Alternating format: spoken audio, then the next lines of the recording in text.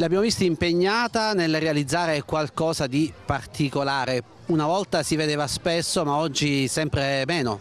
Nel nostro ambiente per fortuna si vedono ancora, chiaramente è un ambiente un po' chiuso, ristretto, eh, però come me, anzi molto più bravi di me, ce ne sono tanti anche in Sicilia ho colleghi con cui ogni tanto ci, dire, ci, incontriamo per degli stage formativi, per cui per la stragrande maggioranza delle persone chiaramente è quasi inusuale questo, perché una volta nei paesi chiaramente era più facile vederli.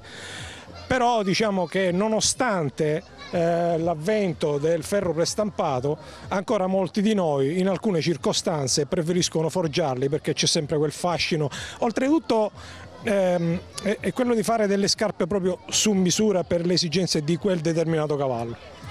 L'abbiamo vista realizzarne già uno, adesso continuerà. No, sono tutti e due in forgia, sono, diciamo che sto lavorando su tutti e due, uno è in una fase un po' più avanzata e l'altro eh, però diciamo fra mm, penso un quarto d'ora, 20 minuti al massimo saranno tutti e due pronti.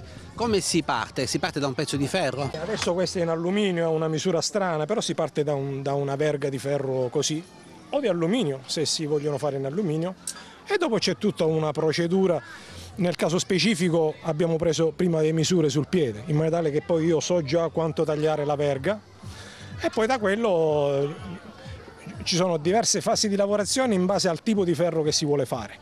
Eh, però diciamo che il punto di partenza è questo, con vari attrezzi, eh, martelli, righe, stampe, controstampe si utilizzano per fare la rigatura nel ferro, per fare la sede per i chiodi e, e quant'altro. Noi diciamo itineranti abbiamo la forgia a gas, eh, chi, chi, lavora ancora in bottega, eh, o meglio una volta veramente c'era solo la bottega, si utilizzava la, for, la forgia a carbone con il carbon coke, che ha un potere calorifico anche maggiore rispetto a, al gas, però chiaramente per praticità non possiamo portarle in giro e abbiamo queste a gas. Ma lei come ha imparato? Io questo lavoro in maniera semiseria l'ho iniziato dopo 40 anni, a 40 anni compiuti e ho iniziato mh, non seguendo nessuno ma quasi da autodidatta, però ho avuto lo stimolo di partecipare a quanti più stage formativi, convegni e quant'altro, perché bisogna sempre partire dal presupposto che quello che sai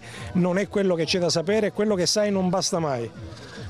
Quindi questo è il mio percorso personale. Purtroppo in Italia c'è un vuoto per cui mancano delle scuole di mascalcie così come esistono in altri paesi esteri, Inghilterra, eh, Germania e così via dicendo.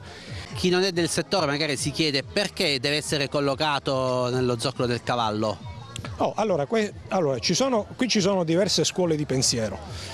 Eh, ultimamente si sta, eh, sta, si sta, consolidando sempre più la teoria del cavallo scalzo, ma il cavallo scalzo è semplicemente un cavallo che non può essere costretto eh, a fare un determinato tipo di lavoro, una certa mole di lavoro, altrimenti lo zoccolo comunque va protetto dal consumo, dall'eccessivo consumo e poi c'è anche un altro aspetto che siccome nel, nel, nell'uso sportivo del cavallo ci sono tantissime discipline, per ogni disciplina c'è una scarpa, un ferro adatto per quella disciplina. Questo è un ferro prestampato che lo fanno um, di fabbrica, è un ferro anteriore, si differenzia dal ferro posteriore perché solitamente il, ferro, il piede anteriore del cavallo ha una forma un po' più rotonda e quello dietro è un po' più affusolato, quindi cambia la forma.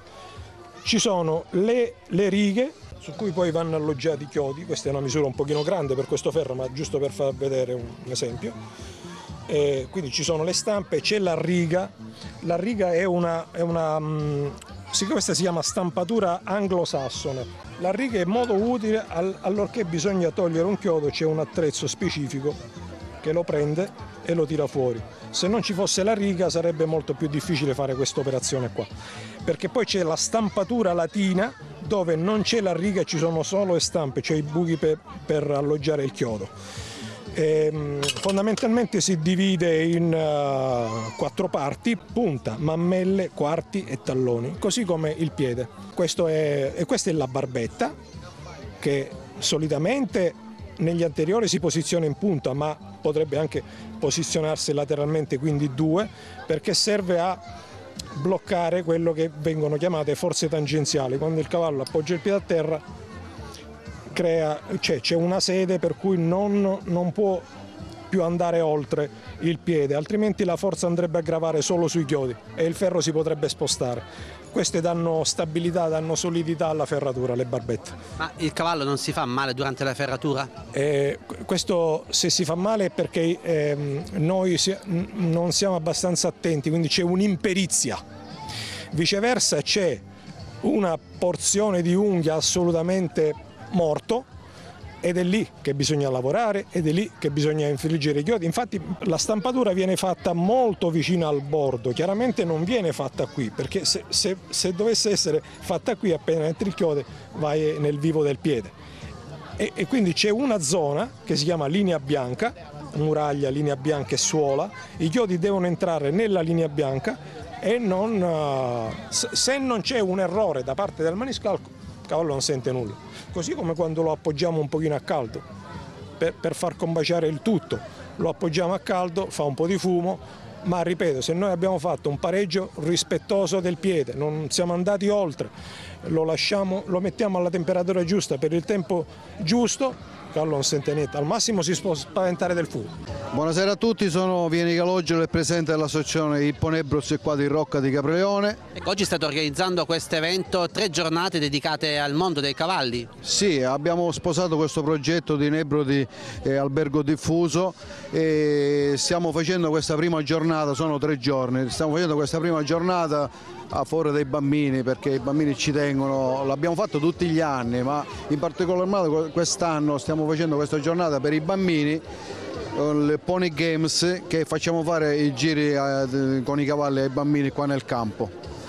E proseguirà domani la giornata, domani sera ci sarà il Gran Galà che ci sono artisti eh, a livello, posso dirlo chiaramente, a livello anche mondiale ci sarà Bartolo Messina che è unico spettacolo qua in Sicilia, poi ci saranno anche artisti locali come Carmelo Lo Cicero, Veralo Forti e poi ci sarà anche una carrozza eh, con un carretto siciliano, ecco, Comunque facciamo vedere molte, molte discipline eh, a cui c'è eh, attaccato il mondo del cavallo appunto. L'obiettivo è quello di avvicinare sempre più persone a questo mondo? Certo, certo, l'obiettivo nostro è questo, uh, l'obiettivo nostro è stato sempre questo qua, avvicinare tutti al mondo del cavallo che diciamo che è un mondo a sé, un mondo eh, diciamo che è uno sport come tanti, però è molto difficile eh, magari avvicinarsi al cavallo perché non è, il cavallo non è come una moto che tu la metti là, no, il cavallo si deve accudire, sono, eh, si deve dare da mangiare, cioè praticamente tutti i giorni si deve dare cura a questi magnifici animali. Ecco, tutto qua. Quindi e questo lo facciamo capire anche giorno 3 che continua la, la manifestazione facendo vedere come si cura un cavallo, come si sella un cavallo, come si addestra un cavallo, perché non è solo andare a cavallo, eh, dietro ci sono anche eh, molte, ma mo c'è un, un, una molle di lavoro che purtroppo si deve anche fare. Ecco, per portare un cavallo a certi livelli bisogna fare molto ma molto lavoro. Ecco. Tra le varie attività c'è quello appunto che, che, porta avanti il maniscalco, oggi lo vediamo presente qui che sta realizzando i ferri direttamente dal vivo in maniera artigianale. Sì, noi qua abbiamo Domenico Bertolami che è un maniscalco eh, anche un caro amico diciamo, ecco, che ci sta facendo vedere come si forgia un ferro per fare un, un, cioè una bacchetta di ferro che potrebbe essere di acciaio, potrebbe essere di ferro, potrebbe essere anche d'alluminio forgia questo ferro per mettere poi il ferro a un cavallo eh, per poter camminare, per fare le varie discipline. Ecco. Eh, quindi, e per portare un cavallo, dicevo, c'è una mole di, dietro di lavoro, anche per ferrare un cavallo bisogna imparare il cavallo a stare fermo, bisogna imparare un cavallo a farsi ferrare, perché non è che uno prende un cavallo, dici lo ferro, gli prende un piede, no, purtroppo ci sono delle, dei lavori dietro che tutti i giorni noi giornalmente facciamo a un cavallo per far capire che gli stiamo facendo fare una determinata cosa che non è nella loro natura, ecco perché il cavallo nasce libero, poi siamo noi che lo portiamo a metterci a cavallo, fare determinati tipi di lavori e eh, quindi eh, bisogna lavorarci sopra con molta fatica e molta esperienza. Ecco, tutto qua. E noi stiamo facendo vedere un po' tutto quello che riguarda questo magnifico animale. L'amministrazione comunale ha deciso di riproporre questo evento, tre giornate dedicate al mondo del cavallo, avete scelto intanto il parco suburbano. Sì, abbiamo scelto il parco urbano perché è il fiore all'occhiello del nostro paese, una location che si presta molto a questo tipo di, di evento che stiamo andando a fare.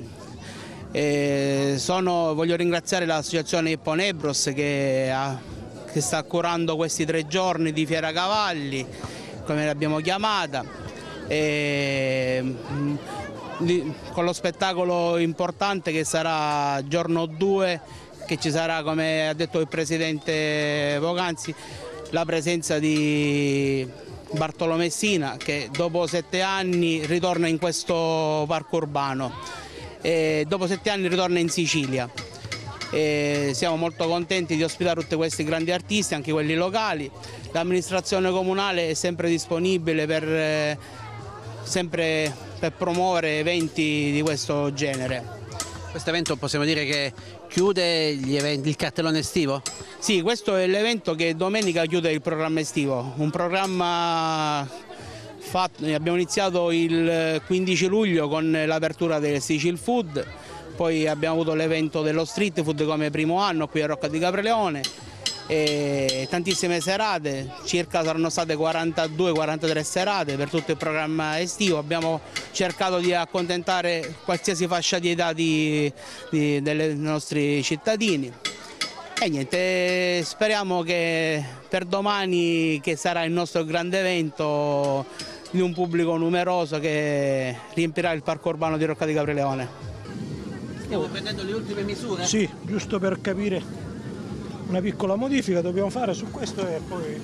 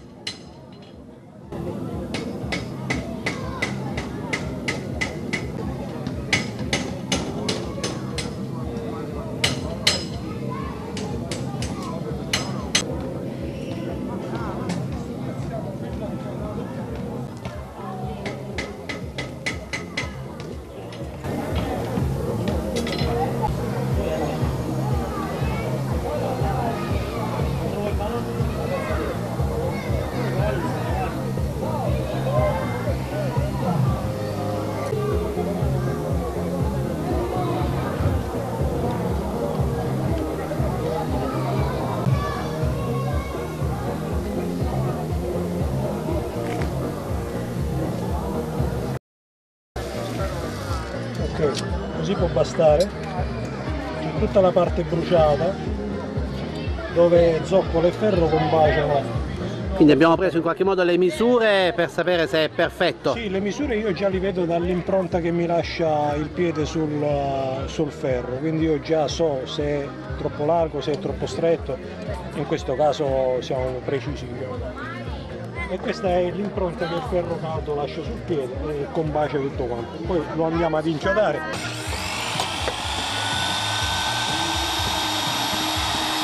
le puntine in tungsteno. Funzionano da antiscivolo sull'asfalto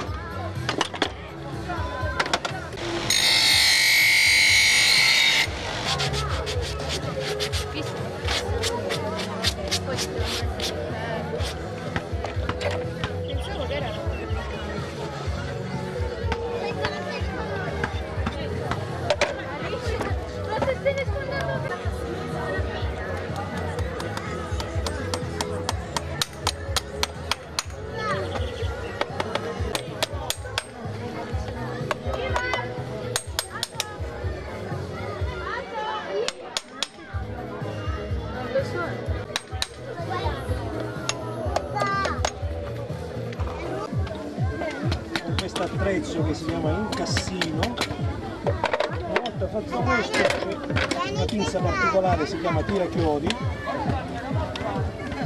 Ha girato il chiodo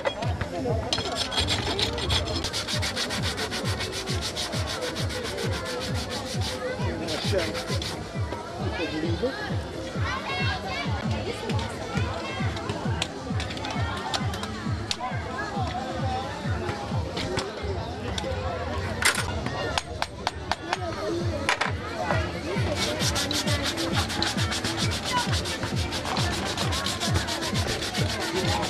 Allora, solitamente l'unghio deve conservare il giusto grado di elas- elasticità. Il motivo per cui spesso si mettono degli unguenti, dei grassi o degli oli, come sto facendo in questo momento. No. Danno un aspetto finito, bello e nello stesso tempo eh, ammorbidiscono l'unghia.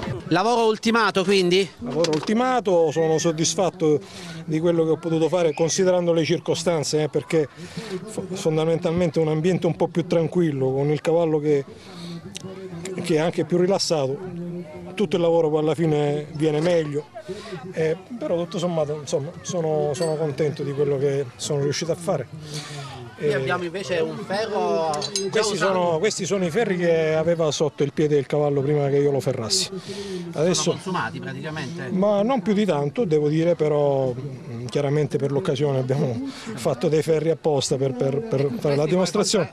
Portano fortuna questi, si dice così. Allora qualcuno dice di sì e bisognerebbe attaccarli così per portare fortuna. Perché dicono che al contrario non funziona. In ogni caso, in ogni caso la, la leggenda più accreditata eh, che, mh, che- che descrive appunto questa capacità di portare fortuna è quella che si narra che un eh, re eh, facesse forgiare e facesse ferrare il proprio cavallo con dei ferri in oro. Se non che capita anche molto di frequente che il cavallo possa perdere un ferro e eh, il contadino poveraccio che lo ha trovato fondamentalmente ha trovato un ferro d'oro.